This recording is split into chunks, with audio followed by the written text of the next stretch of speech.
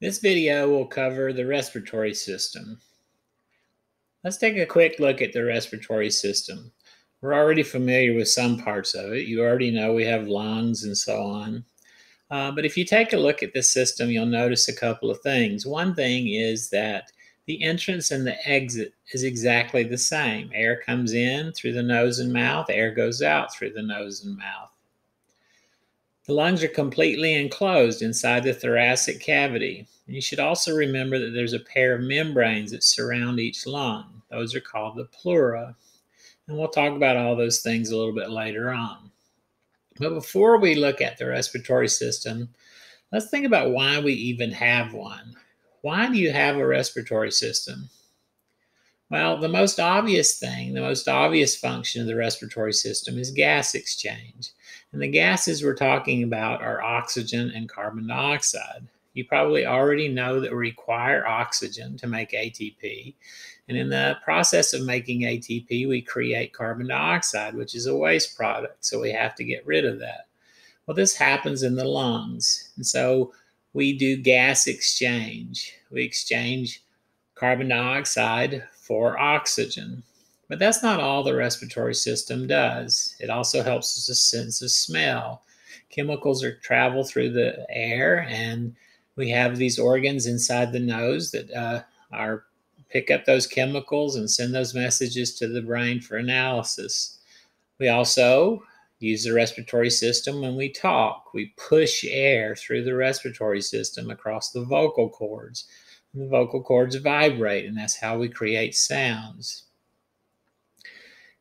We also can get rid of stuff through the respiratory system.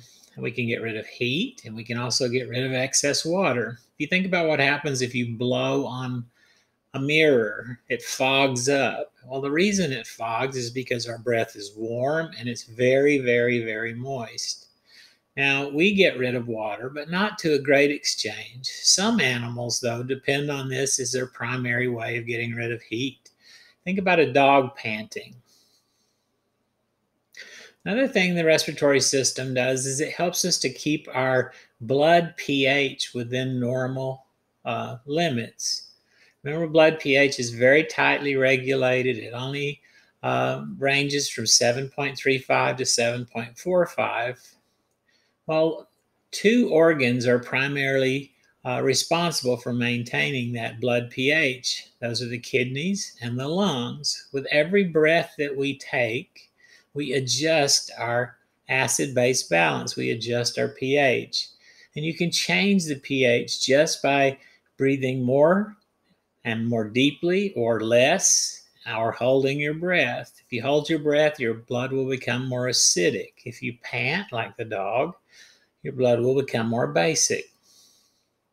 And then finally, we don't want anything getting into the body that's potentially dangerous. And so the best way to prevent that is just to keep it from happening. And so we intercept these dangerous airborne agents before they get a chance to get into our blood or body systems.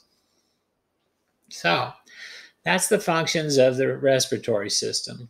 Here you can see the lungs and the respiratory system in a cadaver. And if you notice here, you'll notice that the right lung is larger than the left lung. And you should remember that this is because of the position of the heart. Remember, the heart is two thirds to the left of center, which makes the left lung have less space and so has to be smaller. And you can see that the area where the heart sits there's a cutout in the lung, and that's called the cardiac notch. And we'll see that again later on as well. When we talk about the respiratory system, like most systems, we like to divide it up and classify it. It makes it easier to talk about. Well, there's two ways to do this there's an anatomical way and a physiological way. The anatomical way divides the respiratory system up into two parts. One part is the upper respiratory system or upper respiratory tract. And basically, that includes everything above your Adam's apple. So, if you can find your Adam's apple, which is called the larynx, everything above that, which includes things like the nose, the nasal cavity, and the pharynx, that's an upper respiratory uh, tract. So if you get a head cold or you get a sinus infection, those are upper respiratory infections. The lower respiratory system or the lower respiratory tract begins at the larynx. It begins at your Adam's apple, and then it includes everything, plus the larynx and below. So that includes things like the trachea, the bronchi, the bronchioles, and the little tiny, tiny little air sacs in the lungs, which are called alveoli. So if we look at this, you can see the upper respiratory and lower respiratory tracts. This is kind of an artificial way to do this. Um, it's convenient because the larynx is easy to find, but it really doesn't define very much. So there's another way to classify the respiratory system too, and this is a physiological classification. Remember, physiology is all about function. And we already said the primary function of the respiratory system was gas exchange. And so when we do this physiological classification or divisions, we get two of these as well. One of these is where no gas exchange takes place. In other words, there's no exchange of oxygen or carbon dioxide at all. Basically, this is just a bunch of pipes. It's a bunch of pipes that are bringing the air down into a place where we can do gas exchange. This is called the conducting zone. The conducting zone is going to include most of the respiratory system. Where we do get gas exchange is called the respiratory zone. And the respiratory zone exists deep inside the lungs. It only consists of a few things. It consists of some bronchioles, the alveolar ducts, and alveoli, those little air sacs. So if we look at that, we can see this is the conducting zone. Look, it's a bunch of pipes. And the pipes divide and they get smaller and smaller and smaller and smaller and smaller but there's still pipes. There's no gas exchange that happens in here. The air in here, there's no gas exchange. Sometimes this is called dead space. We'll see that a little bit later as well. If you look at the respiratory zone, though, you have to go deep inside the lungs. It's microscopic, and so we need to use a microscope to see it. So in this picture to the far left, you can see a bronchus and a bronchiole. That's part of the conducting zone no gas exchange. It's not until you get to these respiratory bronchioles, the alveolar ducts, and the little tiny air sacs, which you see hundreds of them in this picture, the alveoli, that's the respiratory zone. When we talk about respiration, if I just said that word to most of you, you would think of breathing. And that is part of respiration, but it's not the total. There's several different processes of respiration. It takes place in distinct different processes and it must happen. Well, when we think of respiration, again, we think of breathing, but that is actually called ventilation. And ventilation is when we move air into and out of the lungs. But remember, it's not air that we're after, it's gases Remember, the gases that we're most interested in are oxygen and carbon dioxide. And so we need to move those gases out of the lungs and into the blood. That's the second process of respiration. And it's called external respiration. So, external respiration is gas exchange. It's gas exchange that happens at the lungs and it's between air and blood. But again, that's not what we're interested in. That those gases don't need to stay in the lungs. They have to go to the cells where they can be utilized. And so we have to move the gases. We have to carry the oxygen to the cells. We have to bring the carbon dioxide back from the cells. And so that's the process of transport. But even in the blood, that's not where we want these gases. We want them in the cells. And so we're going to have to do gas exchange again. This happens in the tissues, and it's called internal respiration. So, internal respiration is a gas exchange again, but this time it's between blood and tissues. And then finally, the gases that we're interested in either get to or are removed from the tissues. But when oxygen gets into the tissues, into our cells, that's where we actually have true respiration. It's called cell respiration, and you spent a bunch of time talking about cell respiration back in general biology. Remember, it was all about Krebs cycle and electron transport system. It's all about using the oxygen in the production of ATP.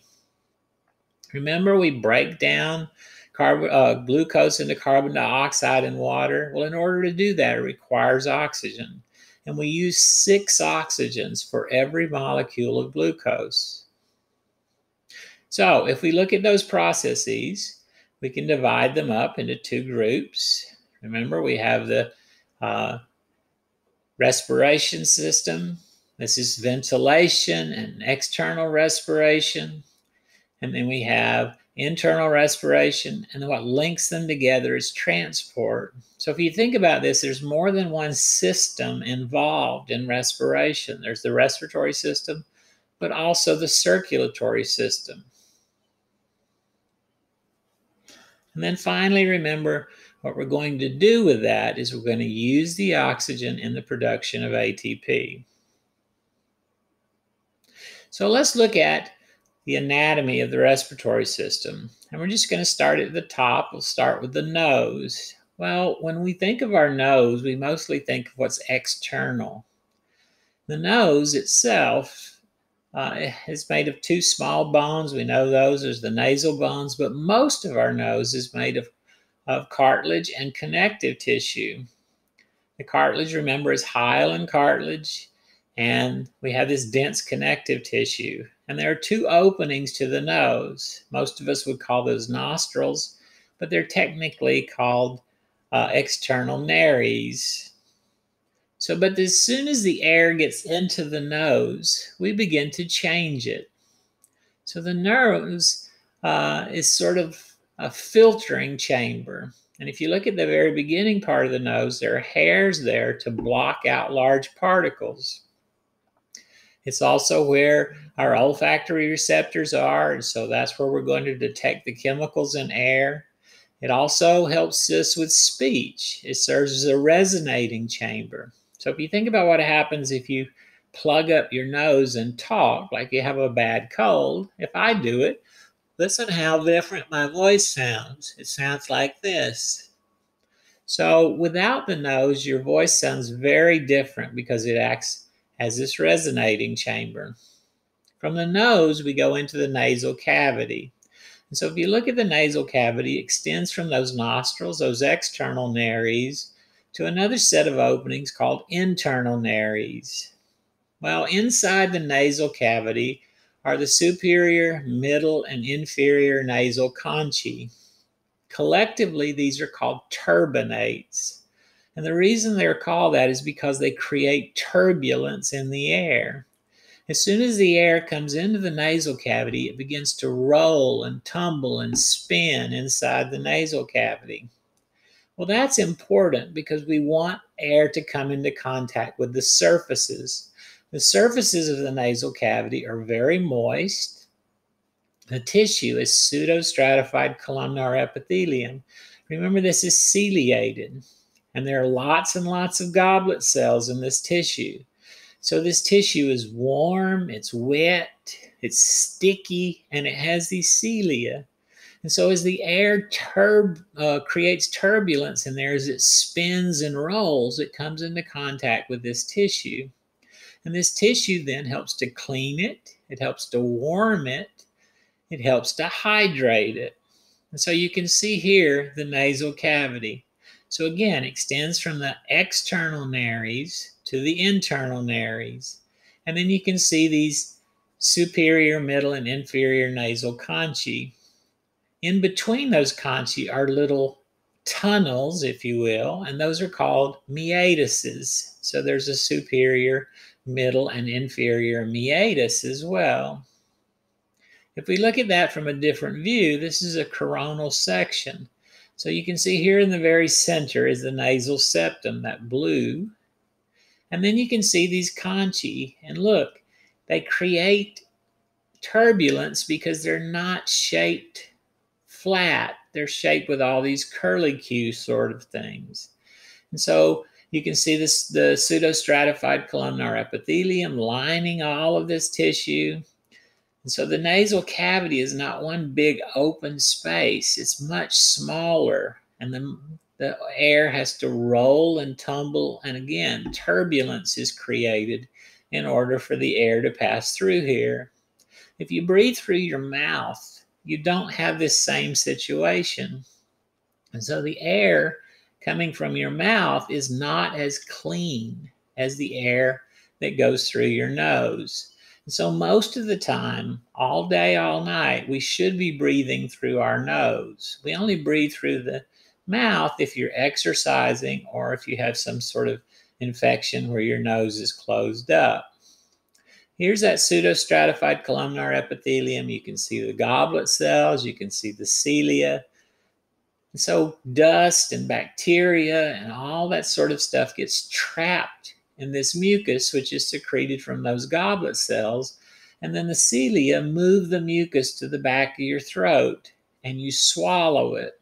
Well, once you swallow it, it goes into the digestive system, and the digestive system either kills the bacteria or it's excreted at the other end. We also have sinuses, and sinuses are attached to the nasal cavity. So they're called paranasal sinuses. Para means next to.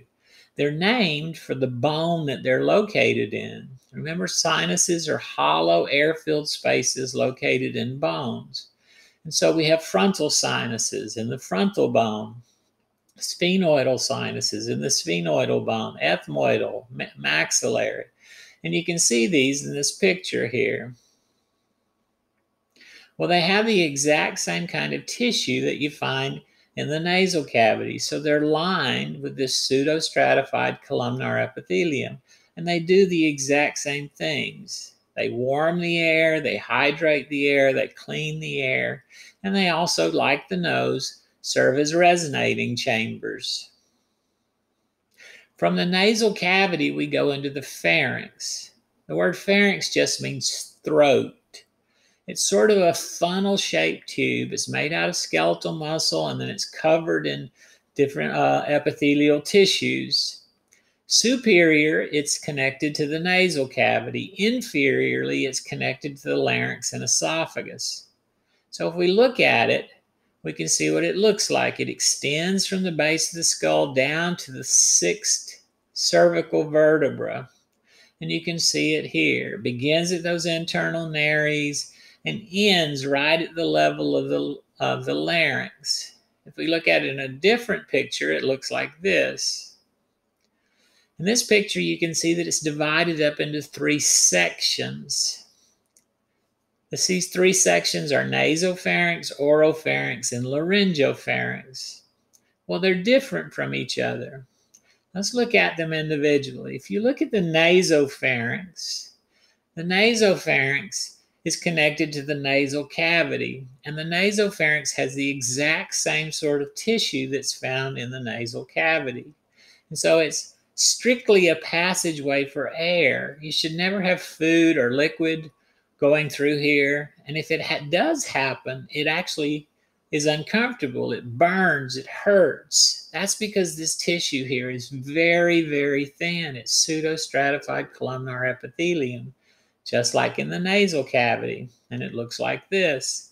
And so the distance between whatever it is that you've uh, gotten into the, na- the nasopharynx and the tissue below is very, very, very thin. If you look at the other two parts of the pharynx, though, they're different. And that's because they're shared spaces. Remember, the nasopharynx is supposed to have air only. But the oropharynx and the laryngopharynx are shared spaces. So not only does air go through here, but so does food and liquid. And so the tissue is very, very different. If you look at the oropharynx, it extends from the uh, end of the soft palate basically to the epiglottis. Food and liquid go through an arched opening called the fauces, which connects the oral cavity to the oropharynx. Remember, this is a shared pathway. So not only does air go through here, but so does food and liquid. Well, food and liquid are both more abrasive than air, and so the tissue has to be accommodating to that. So the tissue here is not pseudostratified columnar epithelium, it's stratified squamous epithelium. Remember, stratified squamous epithelium has many, many, many layers. Now, it doesn't have keratin, but it's still adapted for abrasion. But this is the wet variety. You can see nuclei up in the top parts. The stratified squamous is food and liquid go by here. Some cells may get rubbed off due to abrasion. But if that happens, there's still tons of more cell layers um, before you get down into the place where there's blood vessels and nerves. This tissue is constantly growing, and so we're constantly uh, developing it. The lower levels or cells are being pushed up, and eventually they slough off or they're rubbed off. The same thing is true for the laryngopharynx. It's also this shared pathway. But if you look at the laryngopharynx, right where it happens, two pathways split apart. One pathway, the esophagus, is for food and liquid. The other pathway, the larynx and trachea, is for air. And so if you look at the laryngopharynx, it's sort of like an upside down V. Again, it's this common pathway for food and liquid and air. It's just posterior to the epiglottis. Right there at the larynx, the two pathways uh, diverge. But this is still pharynx, and so it's still stratified squamous epithelium. It's still adapted to resist abrasion.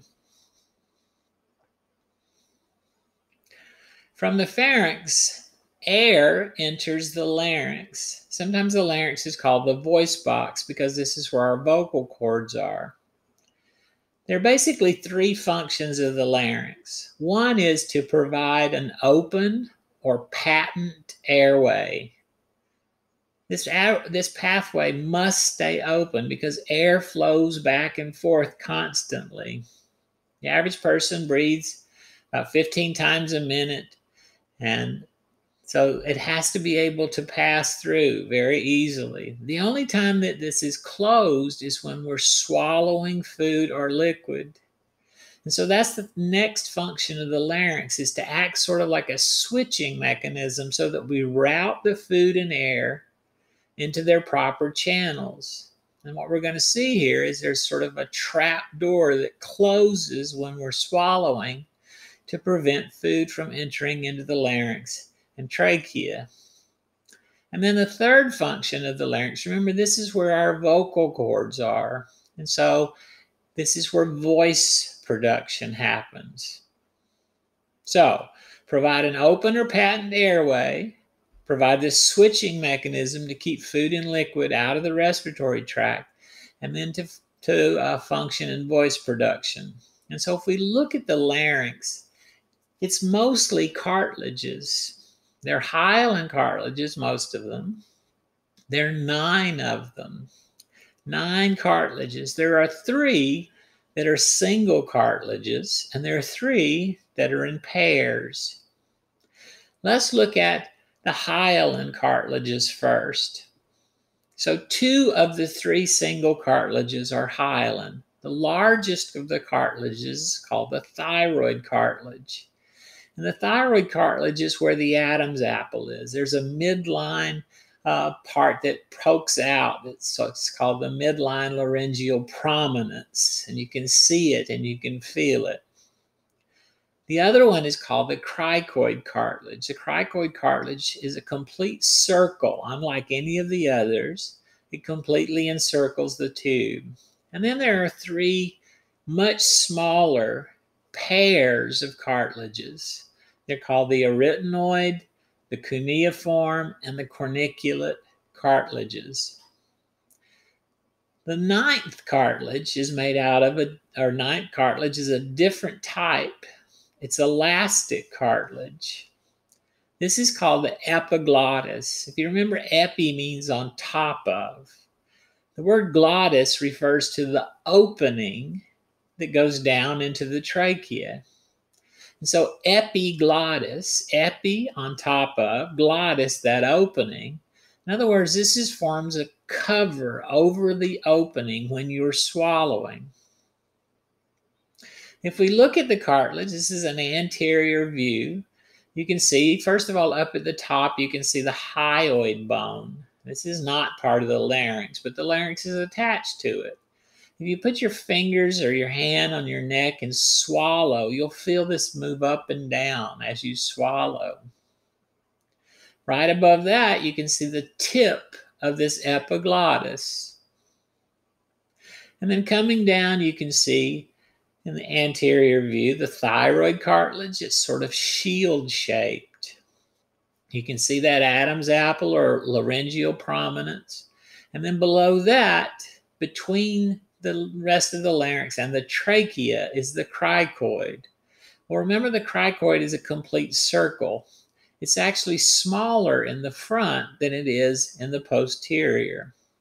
If we look at this in a uh, anterior view and then a medial view, you can see what it looks like uh, in section. So this is a sagittal section. So if you look, you can see the thyroid cartilage. It goes about two thirds of the way around. And then you can see the cricoid. Look, it's smaller in the anterior and larger in the posterior.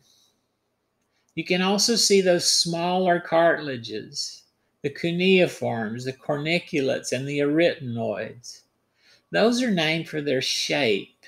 Cuneiform means wedge, so they look wedge shaped. Corniculate means horn like, like the horns on a cow.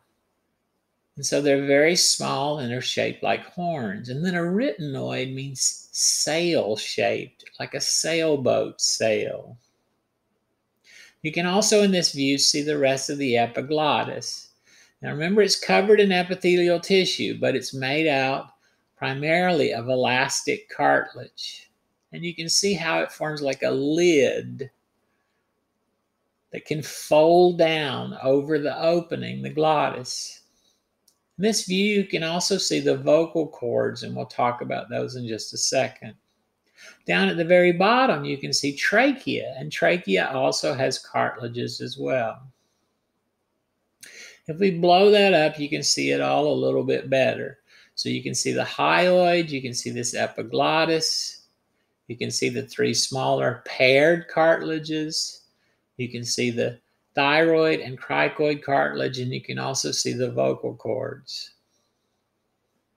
Let's talk about those vocal cords. Technically, they're called vocal ligaments. They're made from dense, regular connective tissue, just like other ligaments. They attach to the arytenoid cartilages. Well, when you look at them, they have elastic fibers in them and they stretch. There are also these mucosal folds that fold over and around them. Well, what happens is we stretch them or relax them, and then we force air across them. And when you force air across them, they vibrate. A good analogy for this is a guitar. If you think about a guitar with guitar strings, the way you make the guitar make sound is you pluck the strings and they vibrate. Well, with a guitar, you use your fingers or a pick or something like that. But with vocal cords, we force air. So as air rushes up from the lungs, it causes those vocal cords to vibrate. If you look down into someone's larynx, you can see the big opening on the left side. That opening is that glottis. So the glottis is what air passes through. Well, with muscles, we can adjust the size of the glottis. We can have it wide open like the picture on the left. We can also close it completely like the picture on the right. On each side of the glottis are the vocal cords. And remember, vocal cords are elastic ligaments, is what they are. And So as air moves across them, they vibrate. If you look at the picture on the right, you can see the vocal cords and they're closed here. The glottis is closed. And so no air would be able to get through there, but you could open it just a tiny bit and force air through. And think about what happens if you blow up a balloon and then you let the air out just a little at a time. The top part of the balloon where the air is coming out vibrates and you hear noise, you hear sound. That's where sound is produced. Well, we can change the pitch of our sound. And the way we change the pitch is by either stretching or relaxing the vocal cords. And so we use muscles to do that. If you look on the lateral sides of the vocal cords, you'll see mucosal folds that prevent the air from moving on the opposite side. These are called false vocal cords sometimes, or ventricular folds. So if you look at these false vocal cords, they're just there to prevent air from moving on the opposite side of the vocal cord. They don't produce any sound. They don't have any part in sound production. They're just there to block the air.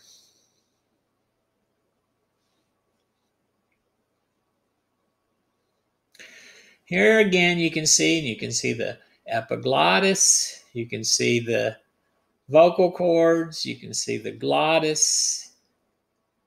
You can see all of this in this picture.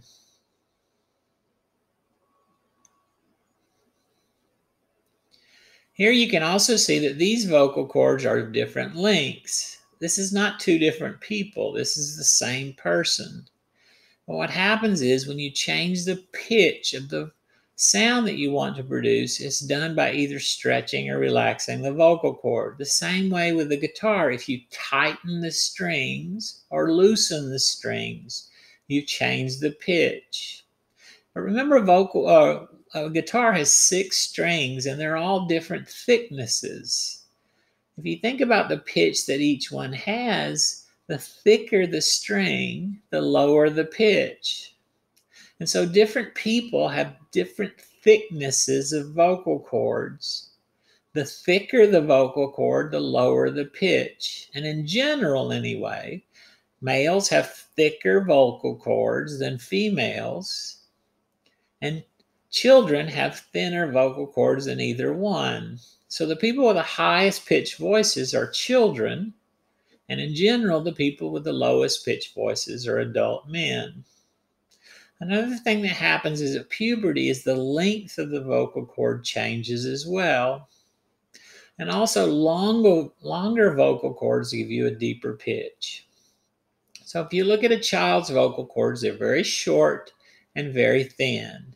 If you look at an adult male's vocal cords, they're very long and very thick.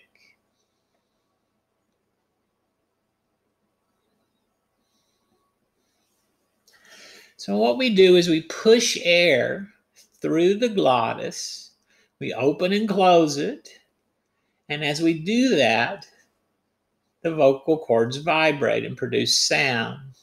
We change the pitch by changing the length and the tension on the vocal cords.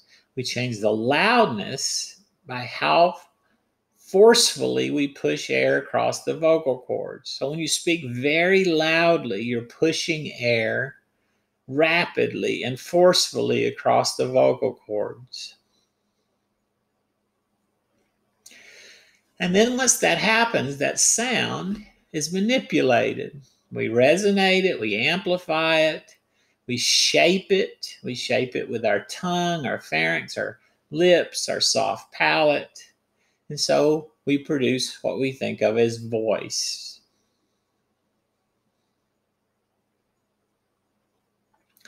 Now, if you're watching this on your own, you can click on these and it'll take you to YouTube videos and you can watch people's vocal cords while they speak and while they sing. Look at these vocal cords. They are inflamed. Remember inflammation? There are four cardinal signs, which is heat, redness, swelling, and pain. And look what happens to the vocal cords. The tissues around the vocal cords swell and the, the sound becomes muffled. It changes the tone completely. This is what happens when you get laryngitis. From the larynx, air enters the trachea. So if you look at the trachea, which is sometimes called the windpipe, it looks like this.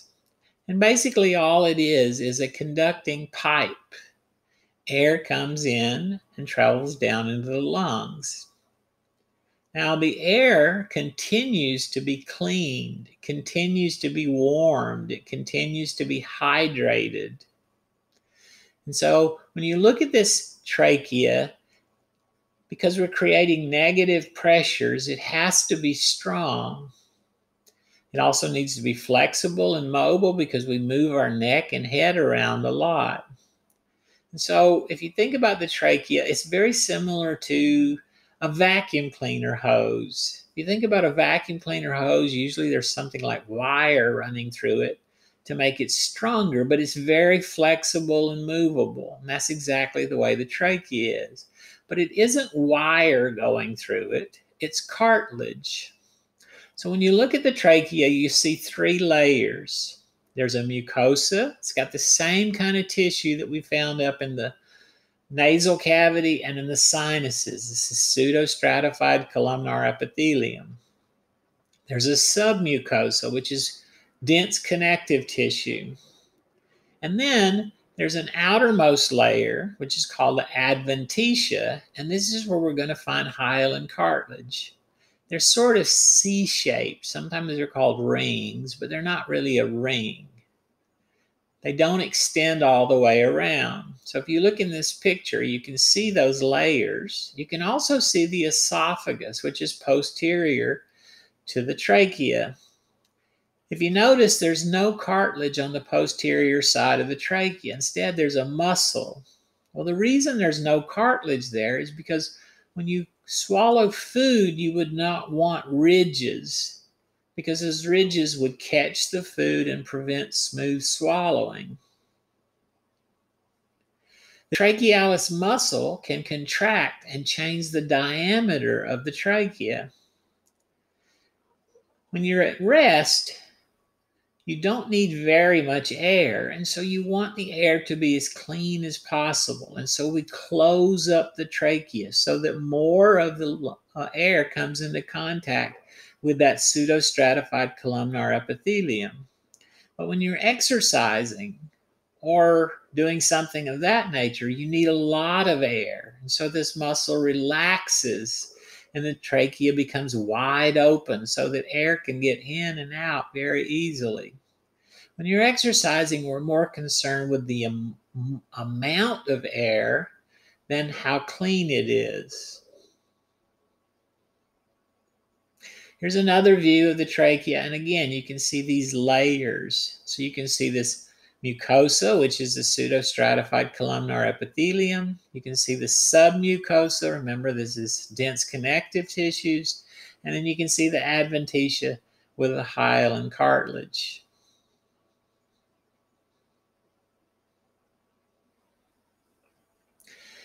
As you continue down the trachea, the trachea then splits and it splits into two bronchi. Well, the very bottom of the trachea, right where it splits, is called the carina. And the carina is a special little place. First of all, it's the end of the trachea and the beginning of the bronchi, but the carina has lots and lots and lots of nerve endings.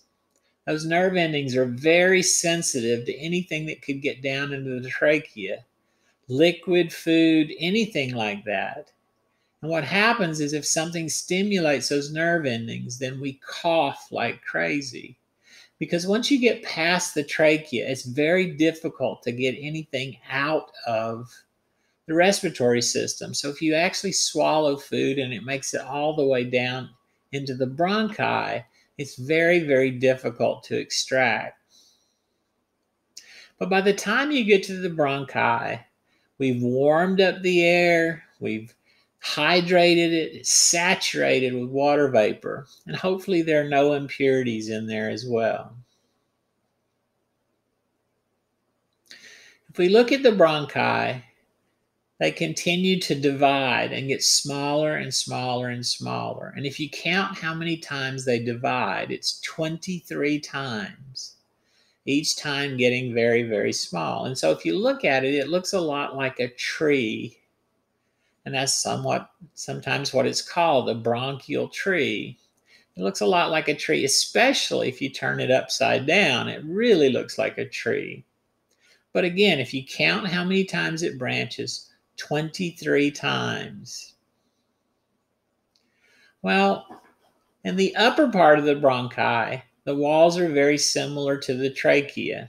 But as you go deeper and deeper, you get structural changes happening. The amount of cartilage in the bronchi decreases. The amount of smooth muscle in the bronchi increases. And then the epithelium also changes. It changes from pseudostratified columnar to simple columnar to simple cuboidal to simple squamous. The deeper you go, the less and less cartilage there is, the more muscle there is, and the thinner the epithelium is. Let's look at the first bronchi. The first bronchi, there are two of them. They're called primary bronchi. There's a left one and a right one. They're not exactly the same. The left primary bronchus is smaller in diameter and more horizontal, whereas the right primary bronchus is larger in diameter. Remember, the right lung is larger, and it's also more vertical. So if you do happen to get food or something down into the trachea and bronchi, it almost always enters the right primary bronchus rather than the left primary bronchus. Here you can see those bronchi and you can see just how different they are. When you look at the left, it's narrower and again more horizontal. But if you look at the right, it's larger in diameter and more vertical. Those bronchi then continue to divide, and we're going to get smaller and smaller and smaller. The first division after the primary is the secondary bronchi. So, secondary bronchi each secondary bronchus enters a lobe of the lung. Remember, the left lung is smaller and it only has two lobes, so there are only two left secondary bronchi. On the right one, though, remember the right lung is bigger and it has three lobes, so there are three right secondary bronchi. And you can see them and then they continue and divide and divide and divide. Eventually, remember, we have less and less cartilage and more and more smooth muscle. Well, at some point, you get to, the, to place where there's no cartilage and there's lots of smooth muscle. Now we don't call those bronchi anymore. They're called bronchioles. So bronchi have cartilage Bronchioles, no cartilage. They have a complete circular layer of smooth muscle. They have an epithelial tissue that's cuboidal. And remember, no cartilage and no mucus secreting cells. So if you look at a bronchiole, it looks like this. You can see these bands of smooth muscle and they go all the way around. Well, when muscle contracts, it changes the internal diameter of the bronchiole. So bronchioles can get smaller or get larger depending on whether or not the muscle is contracted. We this, call this bronchoconstriction and bronchodilation. It's very similar to what we saw with blood vessels. Remember in blood vessels, it's called vasoconstriction and vasodilation. And remember in blood vessels, when we talked about it, if you decrease the radius, you make flow go down. And that's exactly what happens here. It's not blood flowing through here, it's air. But air flows exactly the same way. And if you look, remember the equation for flow The equation for flow here is exactly the same. The autonomic nervous system is in control of this smooth muscle. The parasympathetic causes the smooth muscle to contract and causes vasoconstriction. The sympathetic nervous system causes the smooth muscle to relax and causes vasodilation. The bronchioles continue to divide and divide and divide. They're still part of the conducting zone, but eventually we get to the very smallest bronchioles. These are called respiratory bronchioles, and this is the beginning of the respiratory zone. So the respiratory zone includes the respiratory bronchioles, the alveolar ducts, and the alveoli. Alveoli are tiny little sort of hollow grape like structures. And there's about 300 million of them in each lung. And they account for almost all of the volume of the lung. This is where we're going to get most of the gas exchange. And so it's a huge surface area for gas exchange. If you took the alveoli out of one person's lung and flattened them all out and put them side by side, they would cover about the size of a doubles tennis court. In this picture, you can see if you look over to the left where it's blue, that's cartilage. And so those are bronchioles. But when you get to the part where there's no blue left, those are bronchioles. Bronchioles, remember, have no cartilage and they have lots of smooth muscle. But look, they continue to divide and divide and divide. The very last bronchiole of the conducting zone is called the terminal bronchiole. Terminal means last, the last part of the conducting zone. And then beyond that, we have the respiratory bronchioles, the alveolar ducts, and the alveoli. That's the respiratory zone. If you look at the alveoli, look at them, they look like hollow grapes. And just like grapes come in bunches, so do alveoli. Each bunch is called an alveolar sac we look at it under a microscope, you can see the same things. You can see the respiratory bronchioles, the alveolar ducts, and the alveoli. And remember, a sac is a bunch of alveoli. Notice how the alveoli have holes in them that connect them to the other alveoli around. These are called alveolar pores, and they allow for the equilibration of pressures through the alveoli so air can flow from one alveolus to another.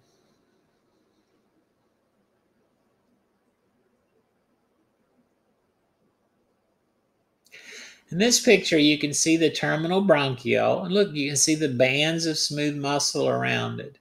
And then again, you can see the respiratory bronchiole and so on. But look at the alveoli. The alveoli are like these little hollow grapes, but they're made out of simple squamous epithelium, which makes them very, very, very thin. Air comes into them just like air goes into a balloon. Well, think about what happens if you blow too much air into a balloon. It pops. And if too much air were to come into the alveolus, it would also pop. Well, one thing that's present to prevent them from rupturing is that there are tiny little elastic fibers around every alveolus. You can kind of think of them like little rubber bands. So if you took a balloon and you blew it up and blew it up, eventually it would pop. But if you put rubber bands around that balloon, and you tried to blow it up, the rubber bands would resist the increase in size, and it probably would be very, very hard or difficult for you to make it pop. And that's exactly the way these are too. So the elastic fibers prevent over distension and rupture of these alveoli. Another thing you'll see around all the alveoli are capillaries. So remember, capillaries are the tiniest little blood vessels. and the capillaries touching the alveoli, that's where we're going to get gas exchange. So if we were to blow that up even more, we would see those little fibers, we would see those pores, we would see the cells inside it, and we would see that it looks like this. Again, you can see these elastic fibers, little rubber bands. We can see these capillaries. And look, the capillaries do not completely cover the surface of the alveolus. The only place we're going to get gas exchange is where the capillary touches the alveolus. If we blow that up and look at it, look, not everywhere do you see capillaries, just in a few places. Again, we only get gas exchange where the capillary touches the alveolus. And here you can see, this is a scanning electron micrograph. You can see those capillaries. And look, there are a lot of open spaces in between the capillaries. When we look at a capillary, we're going to see three different types of cells. The most common type of cell that we're going to see is the pink ones. These are called type 1 cells. So type 1 cells are simple squamous epithelium. It's very, very thin, and this is where we're going to get diffusion of gases or gas exchange. But again, it does not happen everywhere. It only happens where the capillary touches the alveolus. So on the left side, you can see the alveolus, and you can see one, two, three, four, five, six capillaries. Well, if we blow one of those up, if you look on the right side, you'll see the alveolus and you'll see the capillary, and you can see where they touch each other. That's where gas exchange happens, and that is called the respiratory membrane. So, the respiratory membrane is where the capillary touches the alveolus, where we get gas exchange. And if you look at this respiratory membrane, you will see layers. There's the wall of the alveolus, there's the wall of the capillary, and then there's a fused basement membrane between them. So they're sort of glued together so that they don't separate. Well, if you look back on the left, we can see a respiratory membrane one, two, three, four, five, six on this one alveolus. But you can also see lots of empty spaces where there's no gas exchange. Another type of cell that we see here are called type 2 cells. Type 2 cells, sometimes they're called septal cells. They're not squamous, they're cuboidal. Remember, cuboidal tissue is good at doing things like diffusion, or sorry, secretion. And that's exactly what they do here. They secrete, and they secrete a product which is called surfactant. In this picture, they're the green cells. They're called septal cells because they're on the wall. But they're called type 2 cells. And these type 2 cells secrete surfactant. We'll talk about what surfactant is just a little bit later but it's a product that's going to aid in respiration. There's one other type of cell here, and you can see these. These are purple in this picture. These are called alveolar macrophages. Sometimes they're called dust cells. Macro means big, phage means to eat. These are big eaters. And what they're eating is dust. So they remove the dust, the pathogens, anything that you breathed in it's made it all the way down here. They're sort of like little vacuum cleaners that roam around inside the alveolus and clean up the stuff that's not supposed to be there. So we have these three types of cells. Type 1 cells, simple squamous. That's where we get diffusion of gases. Type 2 cells, simple cuboidal. Those secrete surfactant. And then alveolar macrophages are white blood cells that roam around and remove the stuff that's not supposed to be there. Well, remember, we have about 300 million of these alveoli in each lung. And so remember that if we flatten them out, we have this huge surface area for diffusion. But again, diffusion only happens, gas exchange only happens where the capillary touches the alveolus, and that's where we have the respiratory membrane. So if you look at the respiratory membrane, remember it's uh, composed of layers. We have the alveolar wall or epithelium, we have the capillary wall or epithelium, we have this fused basement membrane between the alveoli and the capillary. And then we have this thin, thin, thin layer of surfactant. Well, surfactant is a detergent, is what it is. What it does is it reduces the cohesiveness of water. So if we go back and look at this picture, these are tiny, tiny, tiny little hollow grape like structures, and they're wet on the surface, on the inside.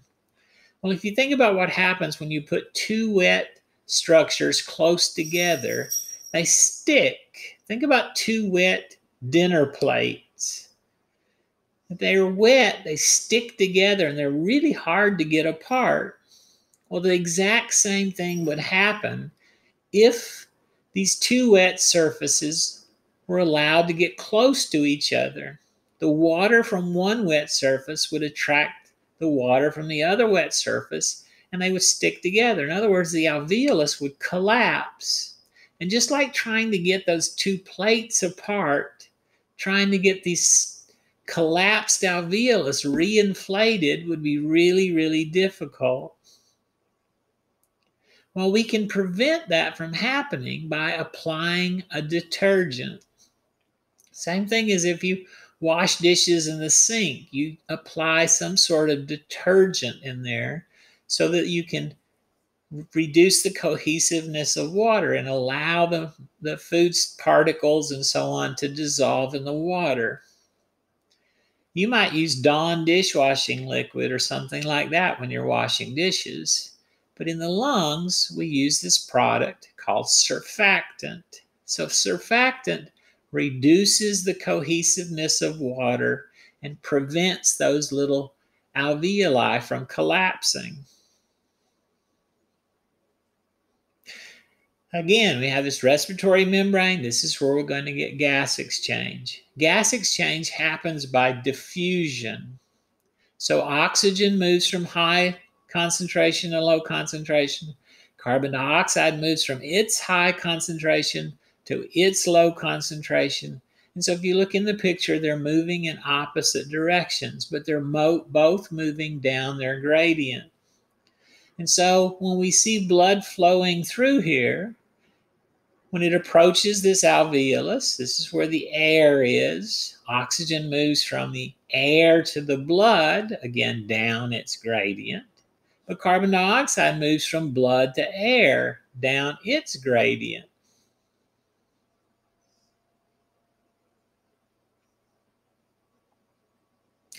Here's another view of the alveoli and the three types of cells.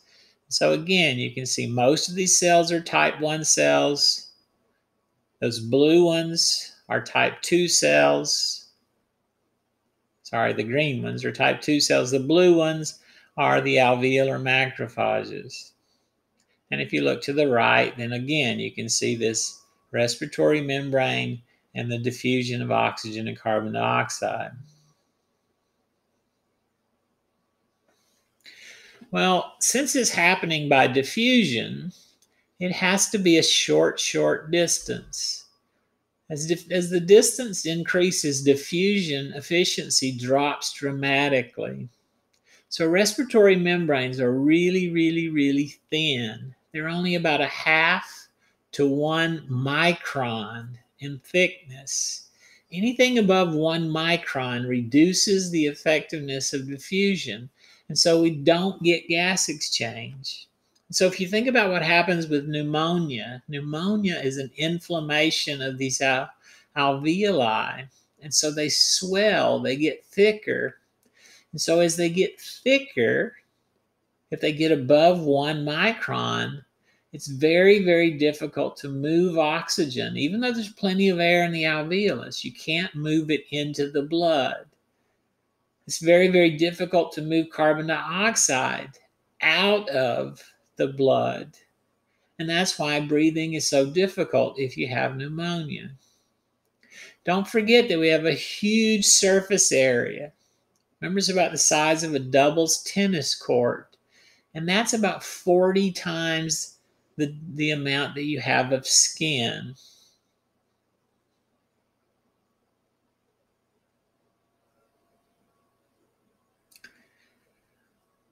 So we can't let this membrane get thick. If it swells, it becomes edematous, gas exchange drops. We don't want to decrease the surface area because if you decrease the surface area, you don't have as much space for diffusion to happen. So things like emphysema, they decrease the amount of, of wall, the walls of adjacent alveoli separate and break through. And so instead of having many, many small alveoli, you have fewer large alveoli.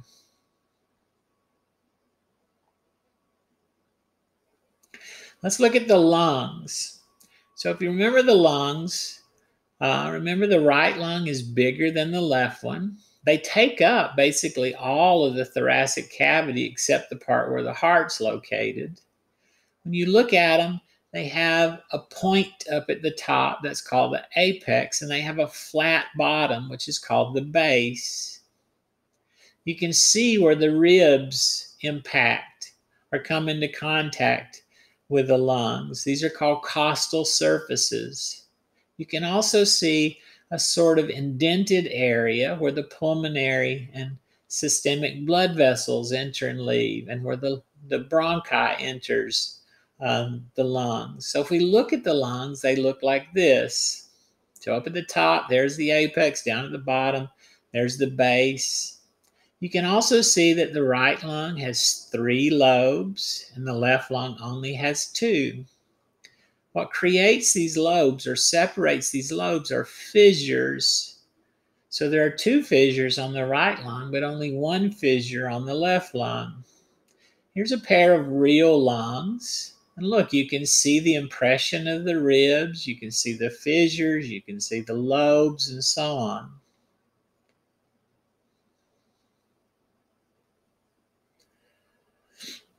The bronchi enter the lungs, and then the secondary bronchi enters a lobe, and then we see smaller and smaller and smaller bronchi until we get down to the alveoli. The left lung remember, is smaller because of the location of the heart.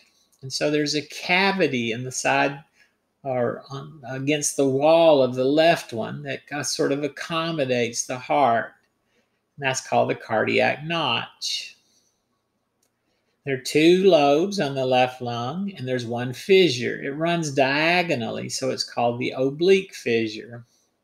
If you look at the right lung, there's three lobes. So there are two fissures. There's an oblique one, but there's also one that runs sort of horizontally. So it's called the horizontal fissure.